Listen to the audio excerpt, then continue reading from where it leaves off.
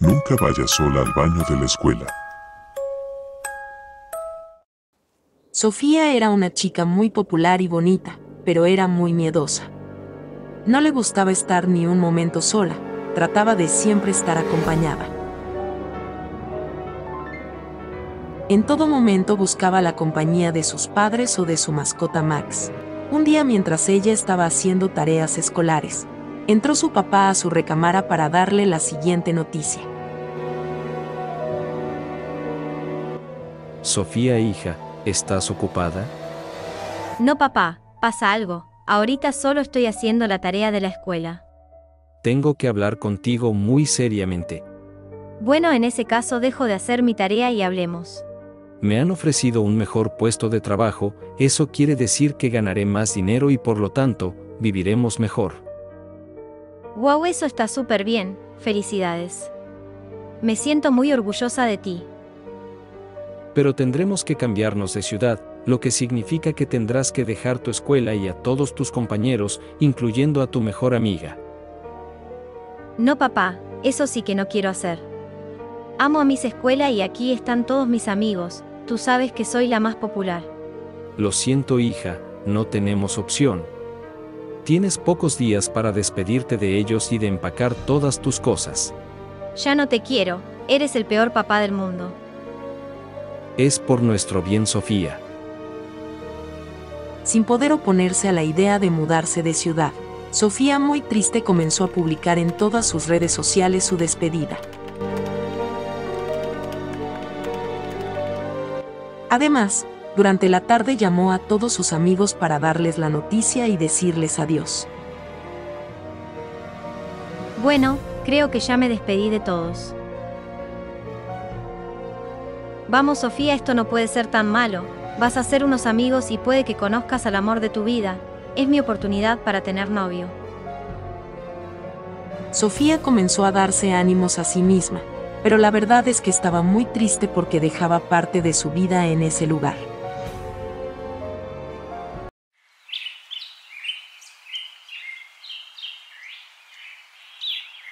Hija, ¿ya estás lista? Sí, papá, pero la verdad no me quiero ir, aquí están los recuerdos de cuando mamá estaba con nosotros, mis amigos y toda infancia. Sé que los nuevos comienzos son duros, pero es necesario para seguir avanzando en la vida. Si tú lo dices, bueno pues ya vámonos.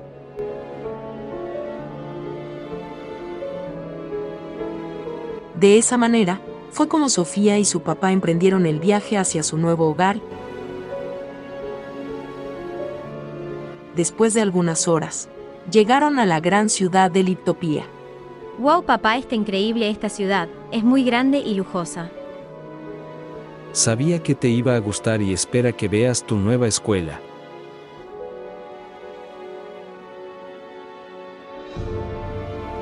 Wow, de verdad voy a estar en esa escuela. Sí, hija, es el mejor de la ciudad y además es muy costoso. Muero de ganas de que sea mi primer día de escuela. Bueno, hija, esta será nuestra casa. Desempaca toda tu ropa mientras pido una pizza para comer.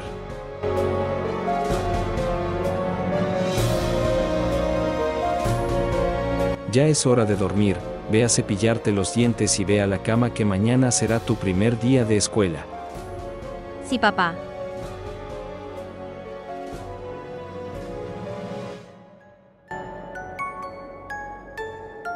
Sofía estaba muy emocionada por todo lo nuevo que estaba pasando en su vida, pero desconocía todo lo malo que con ello atraía. Esa noche casi no puedo dormir de la emoción, solo estuvo dando vueltas en la cama hasta que amaneció.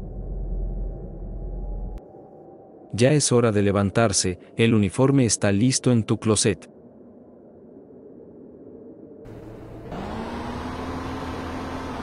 Gracias por traerme en mi primer día, papá. Diviértete, hija, en tu mochila te dejé dinero para que compres algo para desayunar. La escuela era bastante grande y no había tantos estudiantes como ella esperaba. Afortunadamente conoció a Dora, quien se convertiría en su mejor amiga desde el primer día. Los días transcurrieron y todo parecía marchar bien, casa nueva, escuela y amigos nuevos. ¿Qué más podría pedirle a la vida?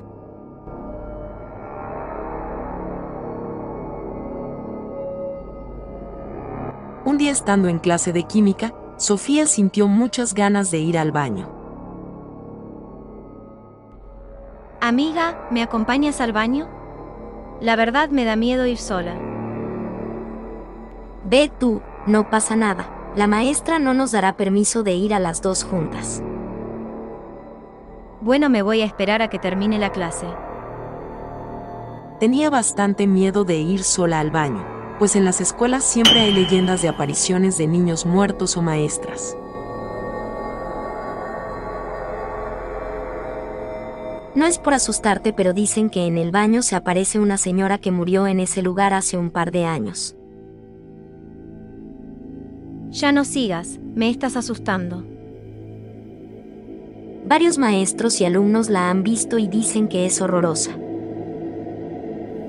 Sofía sintió un escalofrío recorrer su cuerpo. Ya no aguanto más, tengo que ir al baño ya se dispuso a ir al baño, tenía miedo pero no podía esperar más. Una vez en el baño, escuchó que alguien entró.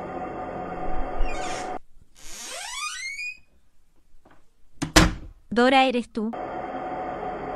Pero nadie respondió. Tras ese silencio se escuchó un lamento. Esto no es gracioso, Dora, deja de molestarme. Pero de nuevo nadie respondió, de pronto comenzó a sentir que alguien le estaba respirando en la nuca. No está pasando nada, solo es mi imaginación.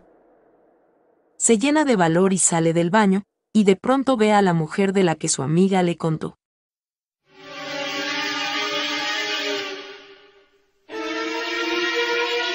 Sofía gritó tan fuerte que su amiga llegó a ver qué le había ocurrido. Tenías razón amiga, la vi, Vi a esa mujer y tengo mucho miedo. Sofía se sintió tan mal que llamó a su papá. Le contó lo sucedido, pero obvio nadie le creyó. Desde entonces Sofía nunca va al baño de la escuela sola, y desearía no haberse cambiado a ese nuevo colegio. Nunca vaya sola al baño de la escuela.